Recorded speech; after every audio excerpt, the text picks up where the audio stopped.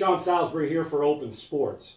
Let's talk about Bill Cowher and his Super Bowl team when they won in 2006 compared to Mike Tomlin's Super Bowl team now here in 2009. And Bill Cowher's football, there's a lot of similarities, folks, and there are some differences. And the big difference is when you, when you look at Pittsburgh is they don't have that grinded out, beat you up, in the game, run the football four minute drill we call it in the NFL that when you got a lead performance, you need to hold the ball, get a few first downs, and pound it out. Jerome Bettis works for NBC now.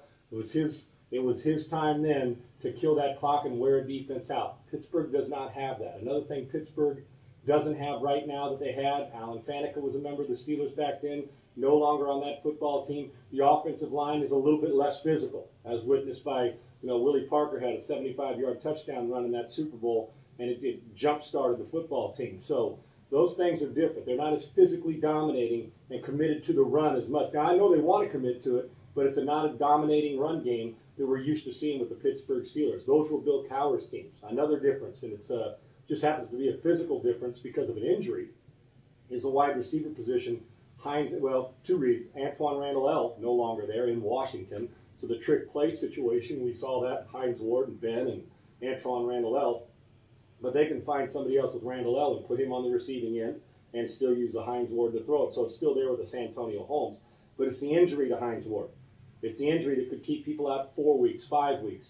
But Hines Ward, if he can walk and get out of bed, he's going to play. That's just the way he is. He's as tough and as hard nosed and as unselfish a receiver as we have. And if it means knocking somebody in the teeth five times in the game and not catching one pass, he'll find a way to make an impact. But he was healthy. You know, when you're the MVP of a game in, in, in a Super Bowl and you do those things like that, Hines Ward, the health issue, he's still as good a player. He still makes all the plays. But can he physically be out there healthy enough to make the same plays he made in that Super Bowl in 2006. So you look at those with Bill Cowher and, his team. Quarterback's the same with Mike Tomlin and Bill Cowher. And here's why. Now, where he's not the same is he's got more experience. This is his second Super Bowl. He admitted Ben Roethlisberger did that his nerves never went away in the game. Normally, after one play, nerves go away and you're you're settled in.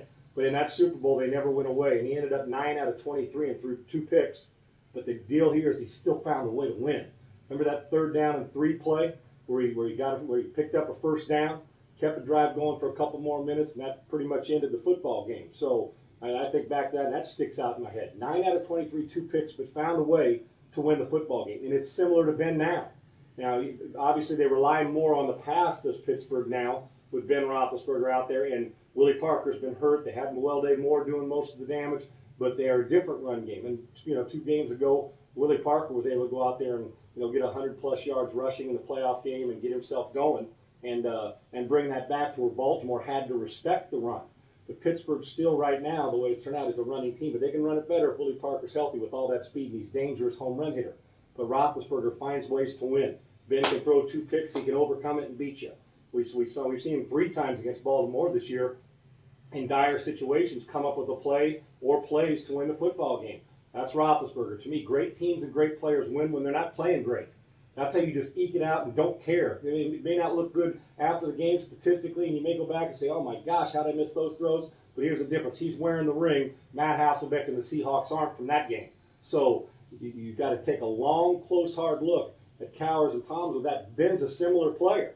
He can still make plays out of the pocket, underrated out of the pocket, tough, strong, plays hurt, throws the ball, is confident, but he's more experienced now. So that's one of the differences uh, that favors Mike Tomlin right now. And Ben's still got the Super Bowl ring, and he hope, put it this way: if Ben were to go eight out of 24 and win, Mike Tomlin won't care.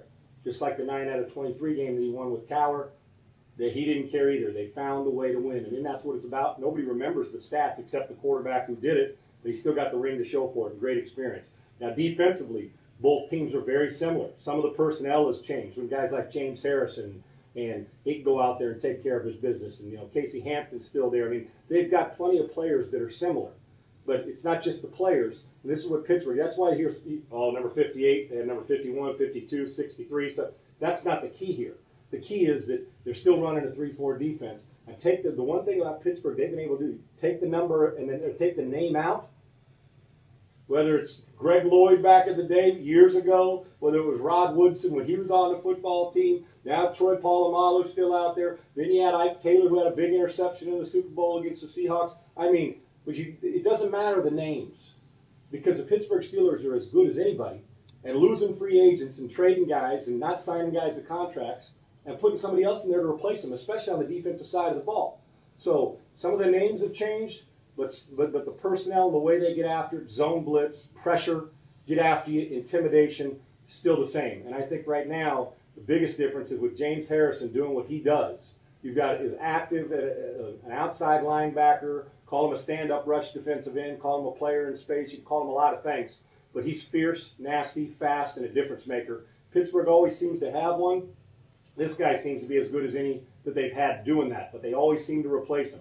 Joey Porter leaves, bam, James Harrison jumps in there. So the Pittsburgh Steelers defensively are pretty much the same. And think about the Super Bowl now.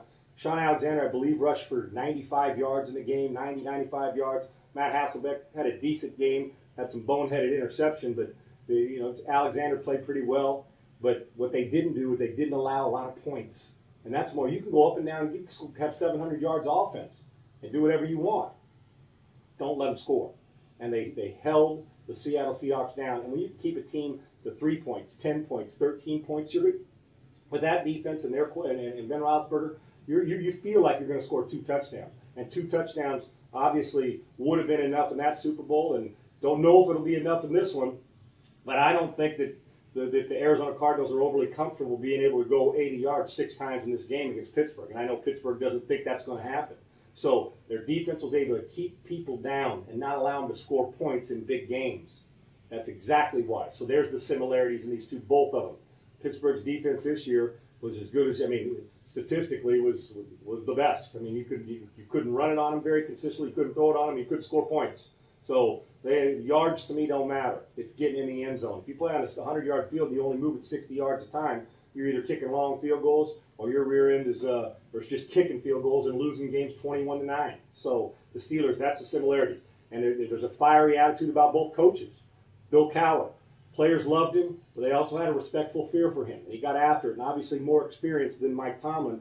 But you didn't lose much as far as the fiery and energetic part. Tomlin gets after it, high fiving, body body banging with players, and he doesn't take any nonsense. I was uh, funny how and I thought, man, this describes Mike Tomlin. His Limas Sweed after that drop last week, and there's an article in the paper talking about him, and he overcame it with a couple big plays.